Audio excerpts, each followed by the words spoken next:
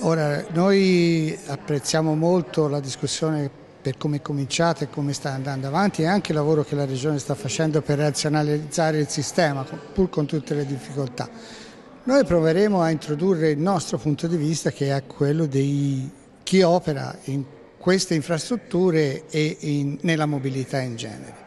Ci sono tanti problemi, ci sono problemi legati alle regole, problemi legati agli investimenti, problemi legati alla manutenzione e quindi alla qualità di tutto il sistema. Noi che ci operiamo tutti i giorni ne paghiamo le conseguenze forse prima degli altri e abbiamo bisogno di affermare i nostri, i nostri bisogni, i nostri concetti che sono molto vicini a quelli dei cittadini perché sono quotidiani.